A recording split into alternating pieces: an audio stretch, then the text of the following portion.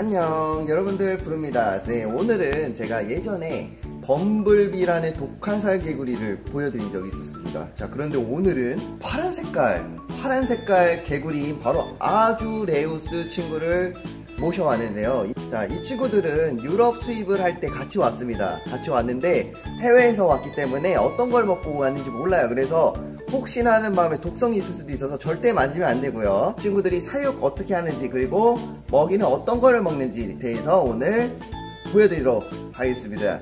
Let's go 짜잔! 자 여기는 사실 임시 사육장입니다.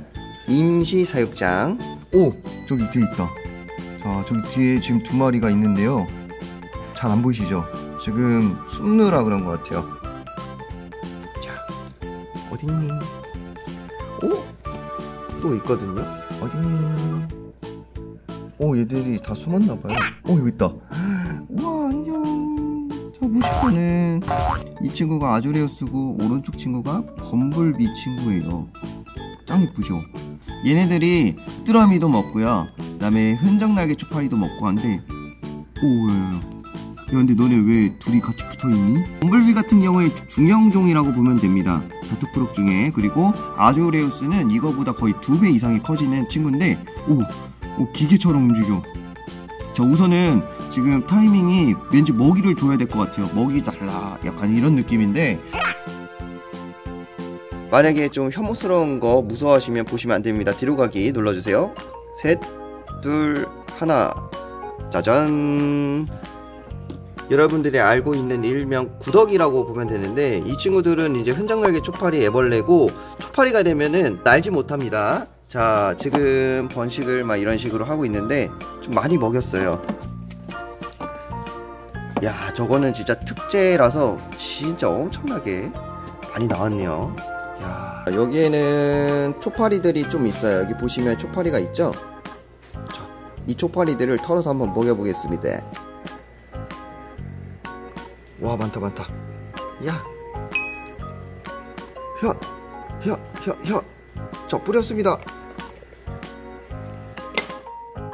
오 뭐야 뭐야. 오 여기 자세히 보면은 여기 조그만 친구도 있죠. 이 친구도 다트프로입니다. 트라이컬러인데 어, 있는지 몰랐는데 튀어나왔죠? 자 아주레우스 선수 먹고 있죠?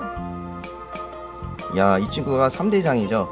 지금 범블비랑 여기 트라이컬러는 제가 어렸을 때부터 직접 기른 친구예요. 진짜 완전 정이 많이 든 친구인데 음 안녕. 얘도 귀여워라. 우선 먹는 거 좀만 감상하겠습니다.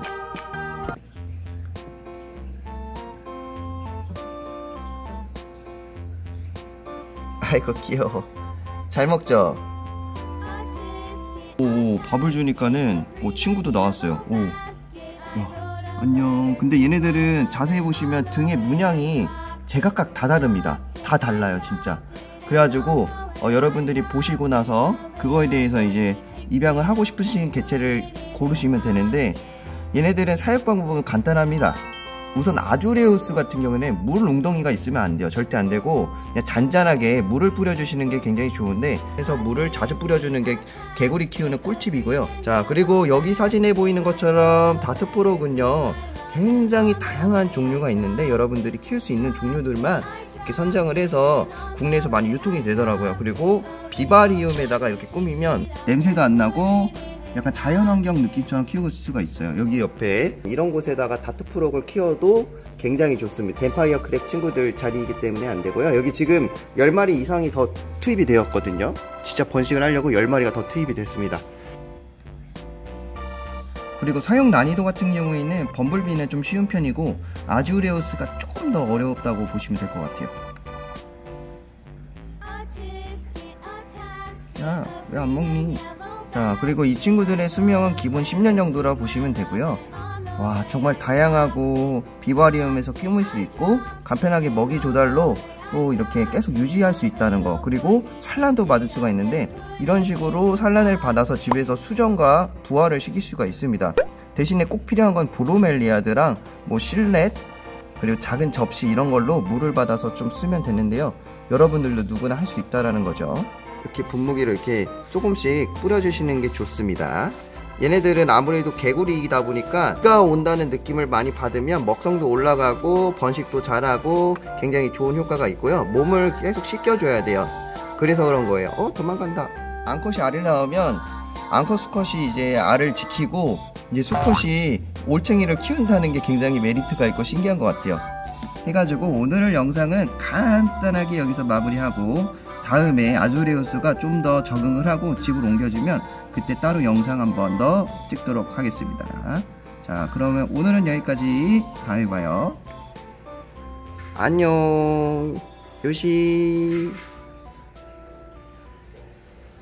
아 근데 무서워서 만지지는 못하겠다. 와. 어, 진짜 독색에